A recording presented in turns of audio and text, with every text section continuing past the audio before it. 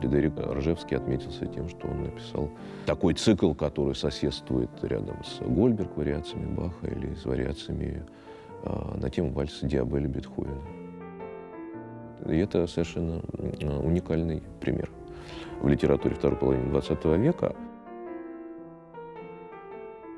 Перед ними я сыграю небольшие вариации Бетховена – с одной стороны, это э, желание все-таки удовлетворить какие-то э, какое-то видение самого композитора, в смысле Фредерика Ржевского. А, он, он писал эти вариации, имея в виду вариации на тему Диабеля Бетховена. Я решил что-то камерное сыграть, вот вариации на русскую тему.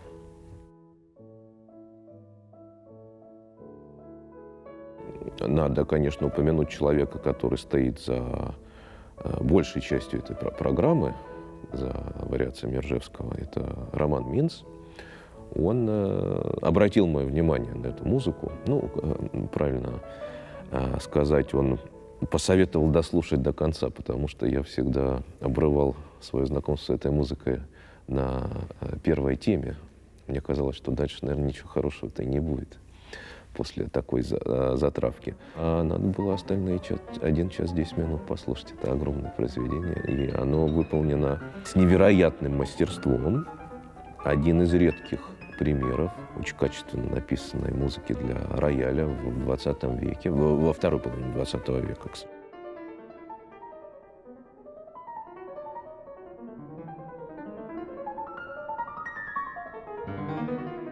после Прокофьева подход к, к роялю как к совершенно особенному инструменту, к такому э, царю зверей, он немножко поугас. Мне кажется, композиторы они стали обращаться больше к симфоническим э, звучаниям, э, к оркестру или каким-то камерным группам.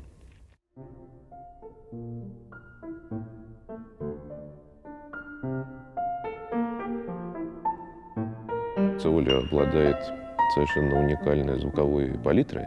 И прежде всего она выражается в частности в том, что очень сильная э, дифференциация голосов. То есть можно играть 4, 5, 6 голосов, э, и они будут иметь каждый свой характер, каждый свою окраску. И это, это то, что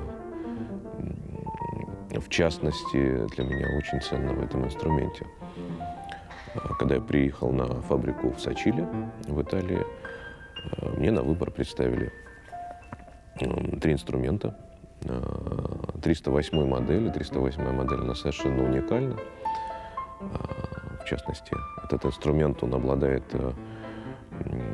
самой длинной рамой, которая позволяет вот достигать таких очень глубоких, густых звучаний, тембров.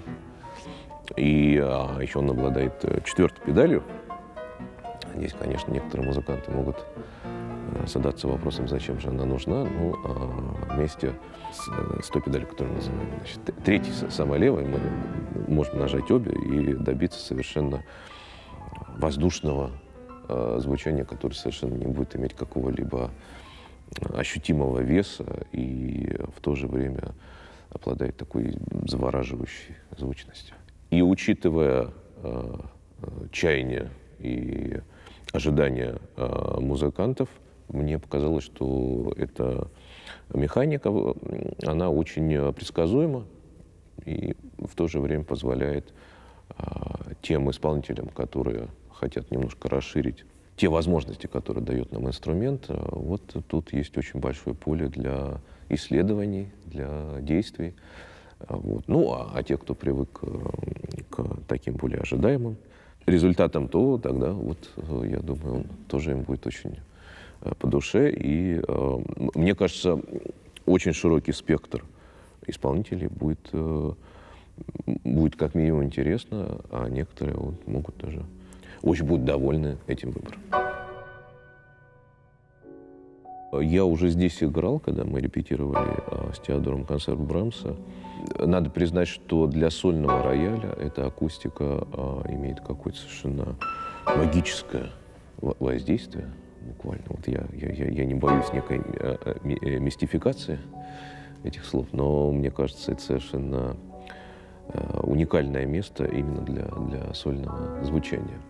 И, конечно, а, работа с Максимилианом, это встреча, которая должна была произойти, возможно, еще несколько лет тому назад, но вот она произошла сейчас. И очень рад, что, что вот мы, мы вместе сотрудничаем. И ну, пока я боюсь говорить перед тем, как диск вышел, но то, что я слышал у Макса в его, в его э, комнате, вот вселяет, вселяет очень большой оптимизм насчет э, результата.